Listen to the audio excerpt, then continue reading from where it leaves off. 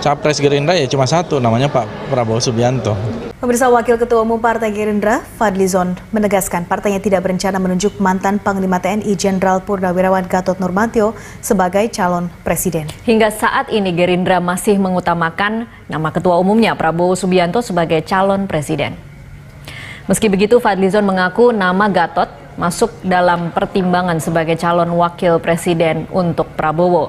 Tapi menurutnya hal itu harus didiskusikan dengan pihak lain terlebih dahulu, terutama rekan koalisinya PKS. Sebelumnya, nama Gatot sempat mengemuka sebagai calon presiden pilihan Gerindra karena Prabowo tak kunjung mendeklarasikan diri sebagai calon presiden penantang Jokowi. Nggak ada tuh, nggak ada usulan semacam itu. Capres Gerindra ya cuma satu, namanya Pak Prabowo Subianto dan ada kemungkinan nggak Pak kalau Pak Gatot tuh mungkin jadi wapresnya Pak? Nah itu nanti kita bicarakan dengan uh, mitra koalisi kita.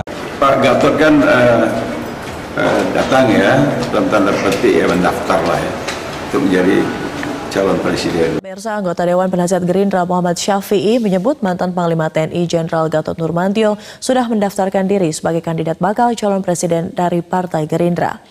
Hal ini disampaikan Muhammad Syafi'i saat ditanya terkait pertemuan antara Partai Gerindra dengan mantan Panglima TNI tersebut. Menurut Syafi'i, sejauh ini ada sejumlah nama yang sudah menyatakan siap menjadi kandidat calon presiden ke Partai Gerindra. Meski hingga saat ini kader Gerindra masih berkomitmen untuk mengusung ketua umumnya Prabowo Subianto untuk maju sebagai capres. Sementara terkait siapa yang nantinya akan diusung oleh Gerindra sebagai capres dan cawapres, hingga saat ini Gerindra masih belum membuka komunikasi politik yang bersifat dinamis.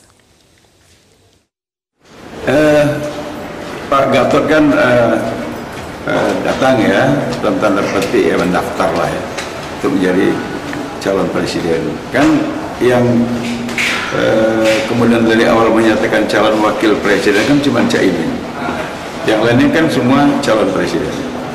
Nah, jadi apakah target menjadi calon presiden atau wakil presiden kita juga belum memastikan. Oh berarti kemarin lebih ke Pak Gatot untuk menawarkan diri sebagai capres dari Gerindra seperti itu? Iya dia mendaftar